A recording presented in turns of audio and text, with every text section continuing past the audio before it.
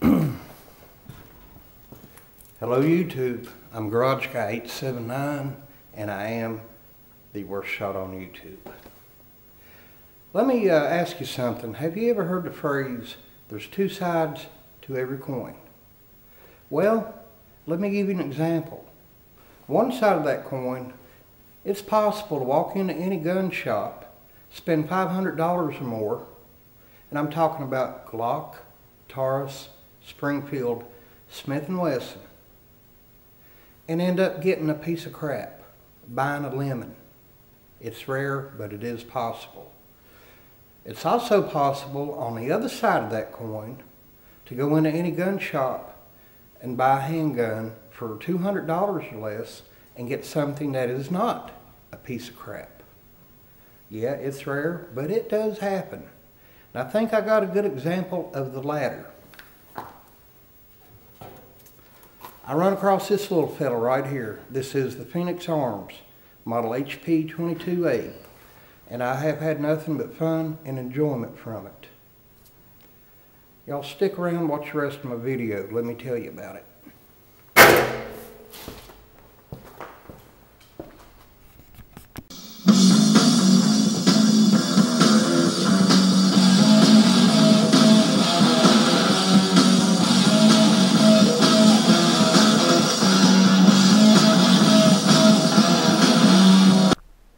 Hello YouTube, this is Garage Guy 879.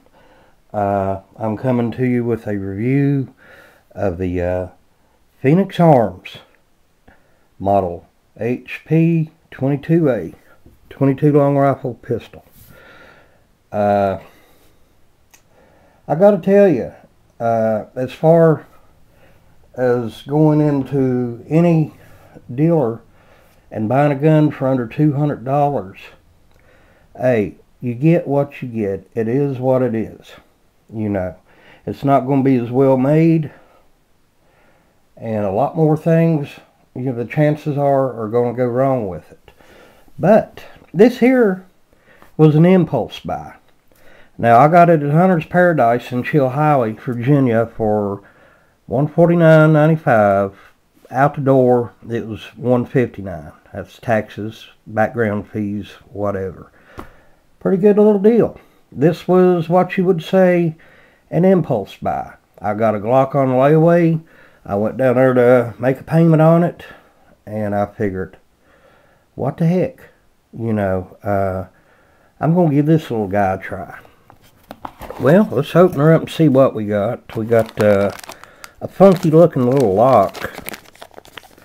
You know, actually, it might do pretty good if I got to lock something inside the house. Other than that, I wouldn't use it outside.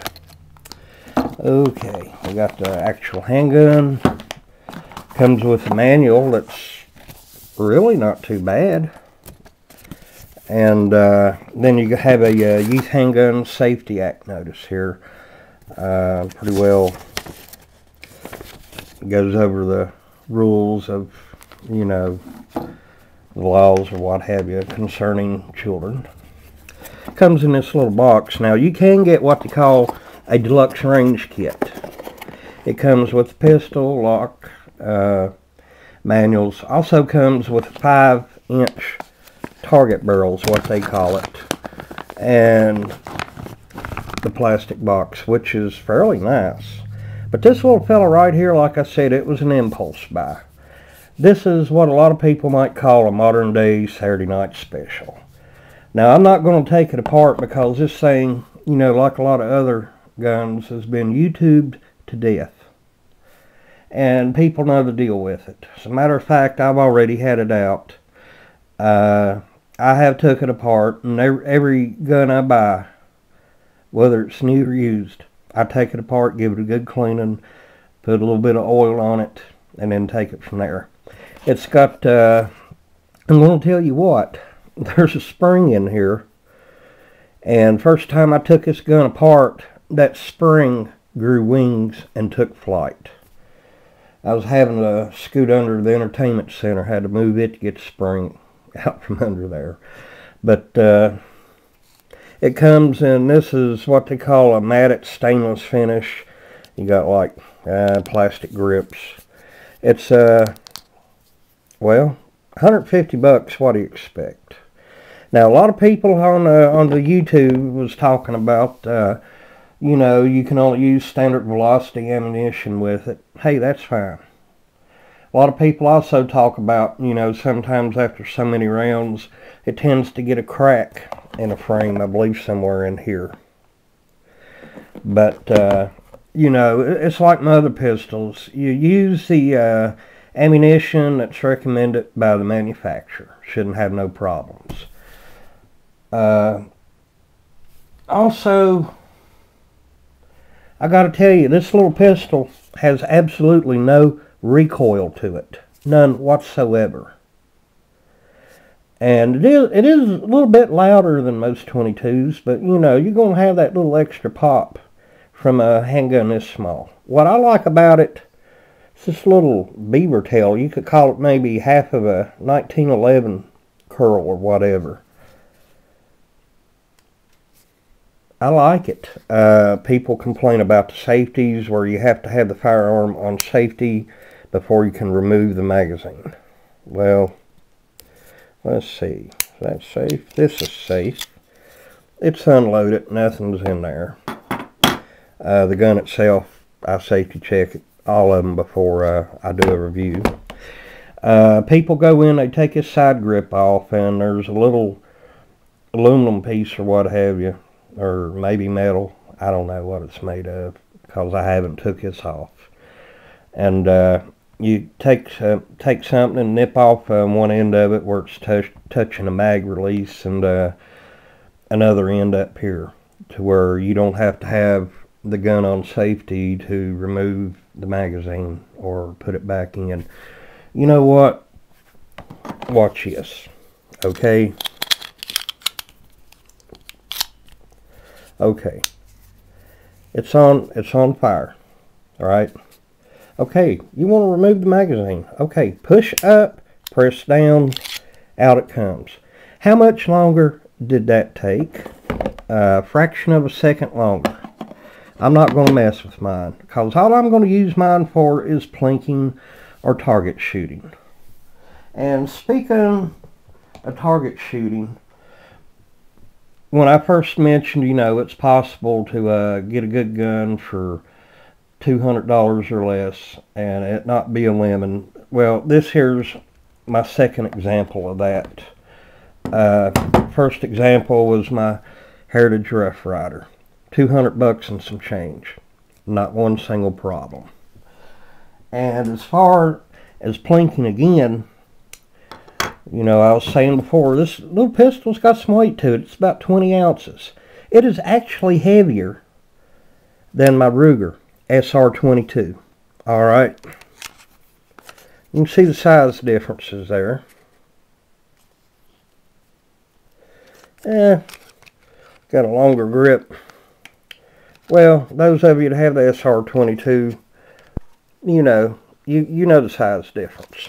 But this little Phoenix is about 3 ounces heavier than this SR22. And I wouldn't have thought that when I first got it, but you know, this thing, it is fairly accurate. It's got the sight on the back, you know, you can adjust uh, side to side, but not elevation. Uh, the hammer on here, this thing's new, and that thing, well, it's on safe. Yeah. All right, let's put the magazine back in here. All right, now we're on fire. This magazine or not magazine, damn, uh, hammer. Pretty darn stiff. Trigger on it, yeah, it's plastic, but so what? You know, 150 bucks, it is what it is. Uh, I've just shot the standard velocity ammo out of it. No problems. Like I said, this is a little fun gun. It's just used for target shooting and plinking. Uh, would I use it as a backup for self-defense? No. Maybe in a pinch. But it fits well in a pocket, fits well in the coat pocket or whatever. Very concealable. But uh, would I trust my life with it? No. if I'm going to use anything for backup, uh, during the cold weather months, it'd be a Glock 26 or 27. Warm weather months, it'd be a Taurus 709 Slim or a 740 Slim. But this little fella right here, in a pinch, yeah, sure, why not? But anyhow, this is my review of the uh, Phoenix Arms HP 22A. It's not going back in the box. As a matter of fact, I'm going to show you exactly where I'm going to put it.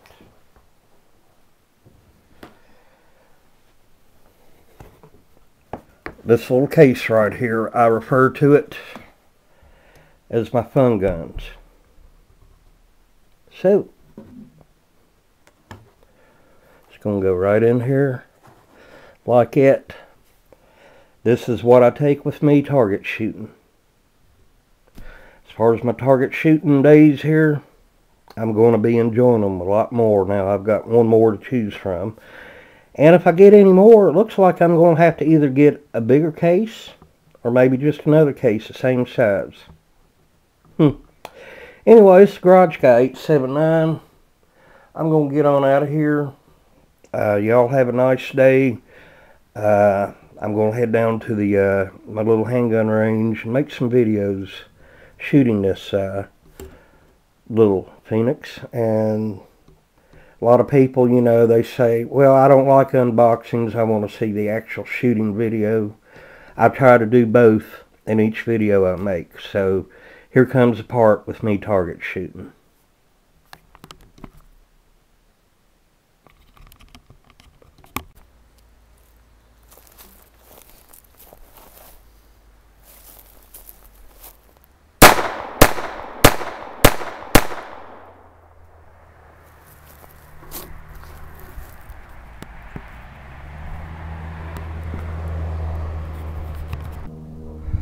Alright, I'm going to shoot uh, this little target here about five rounds, see if, uh, I don't know, five, six yards back, see what happens.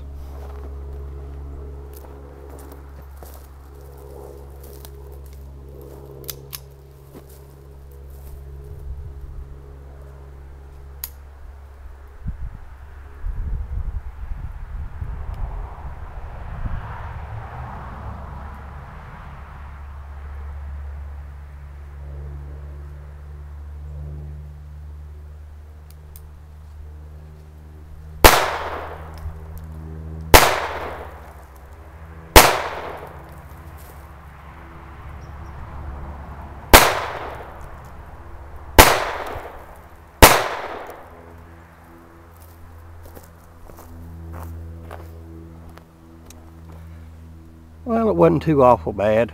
Let's fire a couple more rounds. Same distance.